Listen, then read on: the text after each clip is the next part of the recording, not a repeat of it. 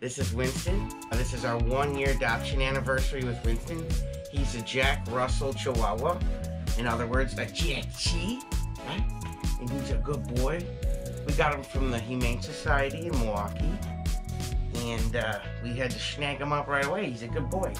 And he likes to sit in the window all day. And the benefits, in my opinion, of uh, adopting a dog rather than buying a dog. The dog you're gonna buy is gonna be in a safe home until it's sold. Some of these guys are in high risk shelters or, you know, whatever situation they came from. And to me, they just seem a little bit more grateful and they're a lot cheaper than buying a purebred. And when you get these mixed mutt breeds, most of the kinks are worked out of them as far as health issues. So he really don't cost much money and he's a good boy. He's a good boy. Okay, thanks for watching. Bye. Happy anniversary.